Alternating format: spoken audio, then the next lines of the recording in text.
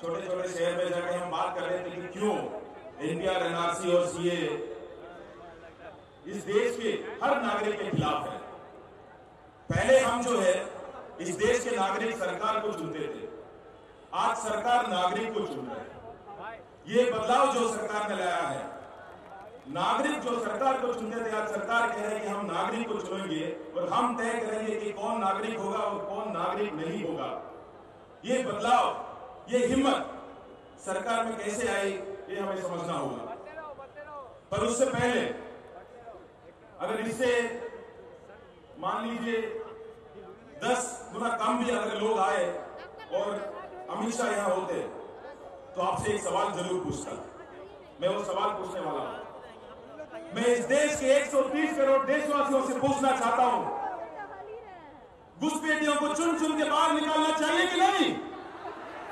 हाँ जब आप हाँ कहते हैं, तब वो एनआरसी और एनपीआर लेके आते हैं। आपकी हाँ कहने से ही वो एनआरसी और एनपीआर लेके आते हैं। क्यों? अगर आपको ड्राइविंग आता हो, नहीं आता हो, पर गाड़ी चलाएँगे, पुलिस वाला आपको पकड़ेंगे, ये नहीं पूछता आपके पास कि आपको चलाना आता है कि नहीं आता है। आपसे क्या पूछते हैं? लाइसेंस है कि नहीं पूछते।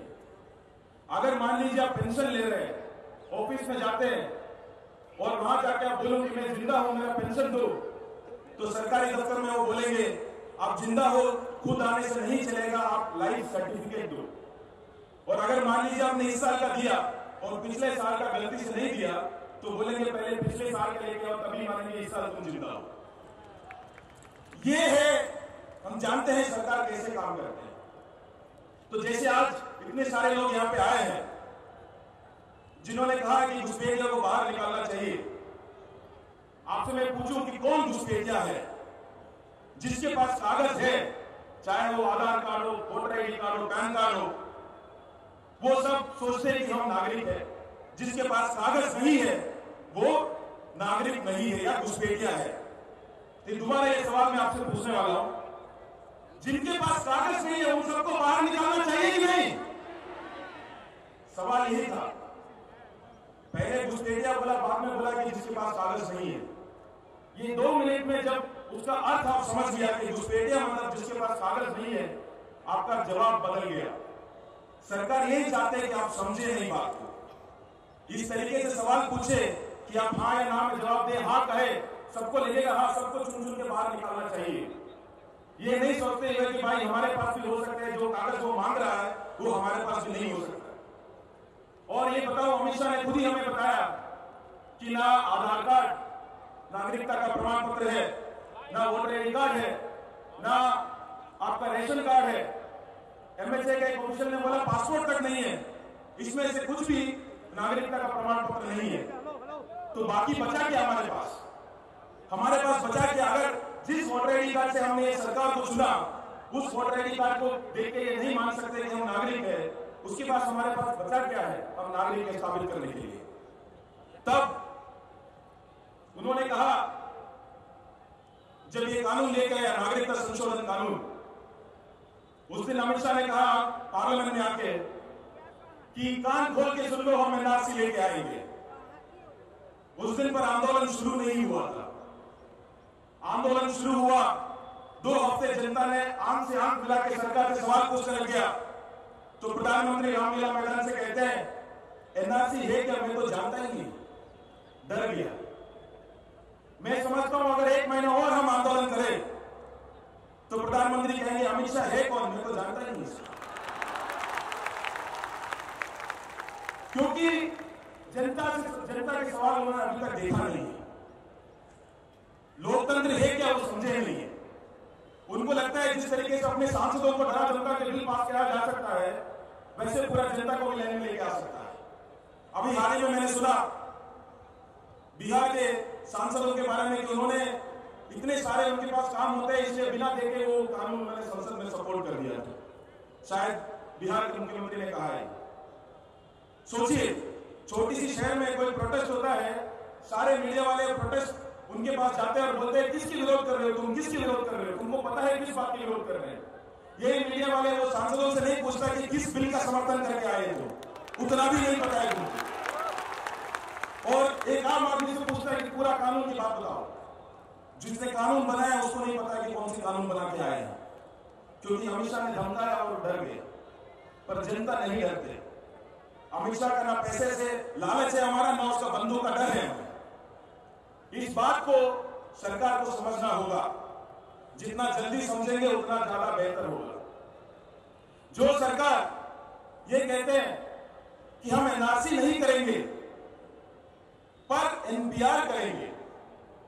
हम एनआरसी नहीं करेंगे, पर एनपीआर करेंगे।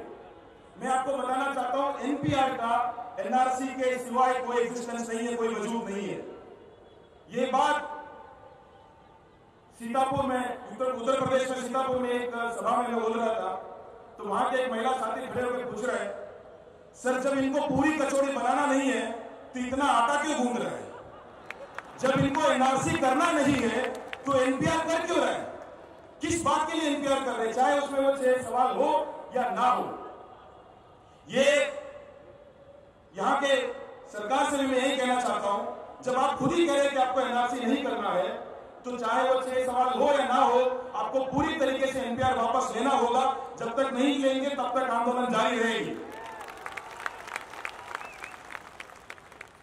दूसरी बात, कानून की। जो एनआरसी और एनपीआर इस देश की हर गरीब के खिलाफ है और खासकर मैं केरला से हूँ आप जैसे हम भी पूरा देश में हर जगह बसे हुए हैं और हमारे अगर कहीं हम रहते हैं वहाँ जाके हमारे से पूछे कि तुम्हारा सब पूरा डॉक्यूमेंट लेके आओ हमारे से मुश्किल हो जाता है दिखाना हमसे नहीं हो पाएगा। तो ये जो एनआरसी और एनपीआर इस देश की हर गरीब के खिलाफ है, हर महिला के खिलाफ है। आसाम में एनआरसी हुआ, उसमें 12 लाख हिंदू थे 6 लाख मुसलमान थे 1 लाख आदिवासी थे। पर एक चीज़ हम भूल जाते हैं, उसमें सत्तर फ़ीसदी महिलाएँ थी। जब सबसे ज़्यादा जो, जिसके ऊपर इसका असर पड़ा है, वो महिलाएँ हैं। क्योंकि उन्हीं के पास कागज़ नहीं होते हैं। अठारह साल से पहले कहीं शादी हो जाते हैं उसके बाद पहले कागज़ बनते अपने पति के नाम पे। अपने माँ बाप के नाम पे नहीं। वो नहीं साबित कर पाते कि हाँ हम इस घर से इस इस जगह से आए हैं। और इसी बात पे हुआ अभी आसाम में पंद्रह कागज़ थे उनके पास एक महिला के पास पंद्रह कागज़। उनके पास ज़मीन के डॉक्यूमेंट थे बैंक के डॉक्यूमेंट थे Aadhaar card voter ID card हर चीज़ था। पर वो ये नहीं प्रूव कर, पाया कि वो अपने माँ बाप की बेटी है।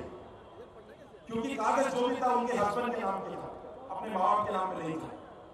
ये चीज़ हुआ है आसाम में तो जो ये एनआरसी और एनपीआर, इस देश की हर गरीब, हर महिला, हर आदिवासी, हर दलित के खिलाफ है, उसको ये सोचे किस तरीके से हिंदू मुसलमान बनाया जाए। और हिंदू मुसलमान बनाने के लिए बनाया जो कानून है, वो है नागरिकता संशोधन कानून। तो जब हमें एनआरसी और एनपीआर के खिलाफ जब लड़ना है, ये भी सोच के लड़ना होगा कि हमें कानून के खिलाफ भी लड़ना है, जो नागरिकता संशोधन कानून है, धर्म के आधार पर। नागरिकता में पहली बार धर्म लेके आया गया है। वो कहते हैं तो नागरिकता देने वाला कानून है। कहते हैं कि नागरिकता देने वाला कानून है, पर धर्म के आधार पर देंगे जब धर्म के आधार पर कुछ चीज़ देते हैं तो धर्म के आधार पर कुछ चीज़ छीन भी लेते हैं। अगर दस लोग बैठे हैं, और उसमें से धर्म के आधार पर मैं पाँच लोगों को खाना दूँ तो वही बराबर है कि धर्म के आधार पर दूसरे पाँच को ना दूँ। और जब एनआरसी के साथ में इसको जोड़ा जाता है, जैसे आसाम में हुआ 19 लाख लोग लोग निकले लिस्ट से बाहर। जिसमें 12 लाख हिंदू है 6 लाख मुसलमान है 1 लाख आदिवासी है। मान लीजिए मैं, हम सब परेशान हैं। पर अगर मैं हिंदू हूँ तो ये बोलते हैं कि कानून आपको मदद कर सकता है, आपको वापस नागरिकता मिल सकता है। और अगर आप मुसलमान हैं, वही कानून आपको बोलेगा कि नहीं, आपको जाओ तो जो नागरिकता देने वाला कानून किस तरीके से नागरिकता छीनने वाला कानून बन जाता है, ये भी समझने की ज़रूरत है। ये इसीलिए हम सीए को भी उतना ही शक्ति से विरोध करना चाहिए जितना एनपीआर और एनआरसी का विरोध हम कर रहे हैं। ये कोई सब जुडिस की मैटर नहीं है। इस देश में कानून आए हैं, आंदोलन से कानून गए आंदोलन से कानून बदलाव आए आंदोलन से। और ये कानून भी जाएगा आंदोलन से ही। एक चीज़ याद रखिएगा इमरजेंसी वापस कोई जुडिशरी के ऑर्डर से नहीं गया था। जो इमरजेंसी वापस गया था इसी बात के लिए गया था और इसी धरती से शुरू हुआ था जयप्रकाश आंदोलन। जनता के आंदोलन से इमरजेंसी वापस गया था और जनता के आंदोलन से ही ये कानून भी वापस जाएगा, चाहे सुप्रीम कोर्ट जो भी ये जैसे मेहता भाई कह रहे थे, अब आपको कितना लोगों को लगता है कि सरकार फांसीवादी है? हाथ ऊपर करें सबको लगता है हाँ सरकार फांसीवादी हो सकता है पर मुझे यकीन है कि सरकार बेवकूफ़ है। एक नंबर का बेवकूफ़। जैसे कुत्ते हफ़्ते पटना में भी करते होंगे जो कुत्ते हैं गाड़ी के पीछे भागते हैं। देखे कि नहीं? गाड़ियों के पीछे भाग, भागता है। एक दिन उठ के सुबह डिसाइड कर लेते हैं या शाम को रात को हाँ काला गाड़ी के पीछे भागना है। वो भाग लेते हैं। भोगता बहुत है। गाड़ी तक पहुँच जाता है। उसके बाद उसको पता नहीं होता करना क्या है। वो इधर उधर देखने लगता है। ये सरकार भी वैसी ही नोटबंदी किया, एक दिन वो थम्सअप का ऐड देख के आज कुछ तूफानी करते करके उन्होंने एक दिन डिसाइड कर लिया कि हम आज नोटबंदी करेंगे। कर लिया। तीन महीने जनता को परेशान किया। आज तक अर्थव्यवस्था उतना ही खराब उससे ज़्यादा खराब हालत में हो गए एक पैसा काला धन नहीं मिला। करने के बाद उनको आइडिया नहीं अभी करना क्या है। भागा धोखा, अभी पता नहीं करना क्या तीन सौ सत्तर हटाया। छह महीने से ऊपर हो गया। बहुत धोखा, बहुत ज़्यादा भागा भी। अभी उनको पता नहीं कि कश्मीर में करना क्या है। ये कानून, जो नागरिकता देने वाला कानून है, करके लेके आया। उसमें किसी ने पूछा, भाई, कोई कैसे प्रूव कर सकता है कि वो पाकिस्तान से आया, अफ़गानिस्तान से आया या बांग्लादेश से आया? है तो सरकार के अफसर कहते हैं, उसके बारे में हमने सोचा नहीं, शायद वो एक बड़ा मुद्दा हो सकता है।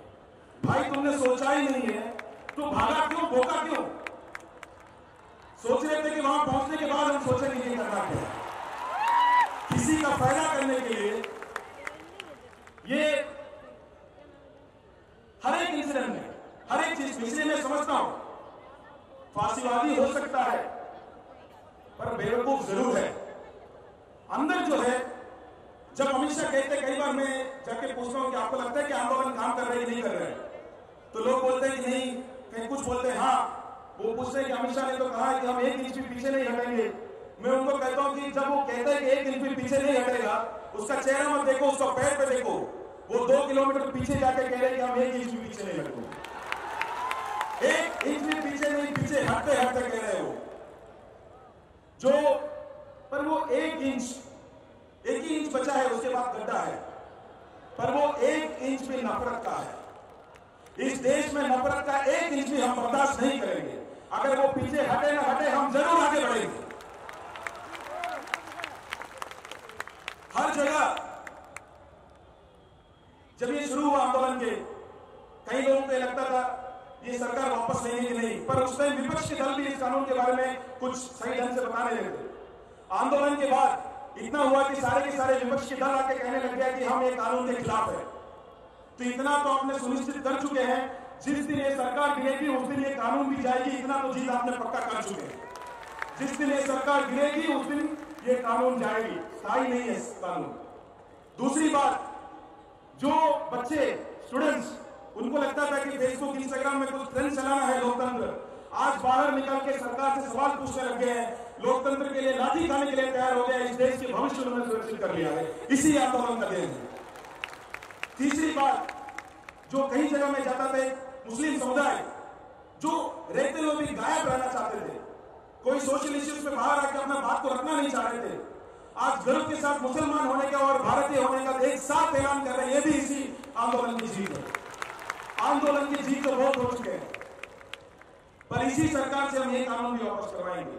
ना एनआरसी होने देंगे, ना इंपीआर होने देंगे और ना हम इस सरकार से भी वापस ये कानून भी वापस करवाएँगे। पर उससे पहले एक छोटी सी नारा मैं आपको करना चाहता हूँ। छियालीस साल की सबसे ज़्यादा बेरोजगारी है आज।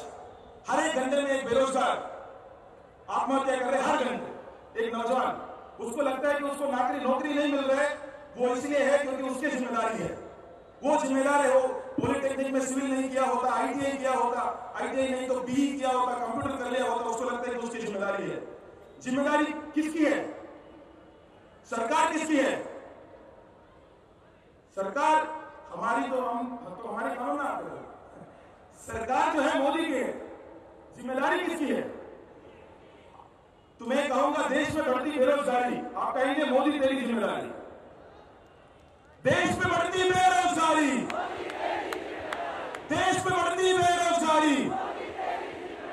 घूम रहे हैं बलात्कारी घूम रहे हैं बलात्कारी क्यों बेच रहे हो तू रेलगाड़ी पटरी बेच रहे हो रेलगाड़ी पटरी जवान सभी तुझे वोट है प्यारी जवान सभी तुझे वोट है प्यारी लास्ट एक बात मैं अपने बात बात खत्म करूँगा हर जगह महिलाएँ बैठे हुए हैं हर जगह 500 600 जगह पर महिलाएँ बैठे हुए हैं उनसे मैं पूछता हूँ कि क्यों बैठे हैं? वो कहते हैं, देश को बचाना है, संविधान को बचाना है, पर उससे सबसे अधिक एक चीज़ कहते हैं, इस देश को हमारे बच्चों के लिए बचाना है, अपने बच्चों के लिए बचाना है। और मैं यकीन के साथ कह सकता हूँ, जब कोई माँ अपने बच्चे के लिए लड़ता है ना तो जीत सिर्फ़ माँ की हो सकती है और किसी का हो ही नहीं और किसी का हो ही नहीं सकती। इसी बात में यकीन के साथ कह सकता हूँ इस आंदोलन में जीत सिर्फ़ हमारी हो सकती है और किसी का हो नहीं सकती। जय हिंद, धन्यवाद।